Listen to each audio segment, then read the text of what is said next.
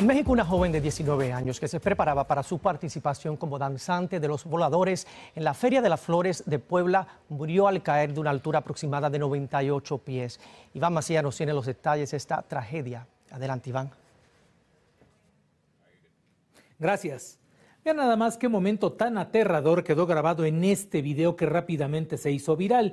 Y es el momento en que una mujer danzante tradicional de este ritual llamado los voladores de Papantla estaba subiendo a esta estructura sostenida por un palo cuando de repente cae al vacío una altura aproximada de 15 metros y lamentablemente pierde la vida a pesar de los esfuerzos de rescatistas por llevarla a un hospital.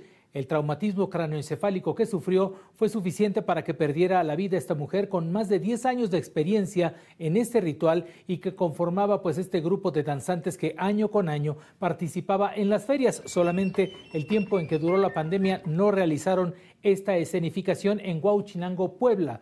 Debo decir que esta mujer, eh, de hecho, luego de hacerse estos eh, primeros eh, trabajos de investigación, se sabe que pudo haber resbalado casi al llegar al último peldaño. Y es que hay algo detrás de todo esto que se puede creer o no, pero por lo apretado del programa hay quienes aseguran que no alcanzaron a pedirle permiso a los dioses o hacer un, ritual dentro del ritual para poder acceder a este palo. Dicen que eso pudo haber traído mala suerte, pero finalmente lo cierto es que la mujer perdió la vida, a tal grado de que el alcalde de esa comunidad dio de esta forma el testimonio de que suspendían por un tiempo estas festividades. Escuchemos.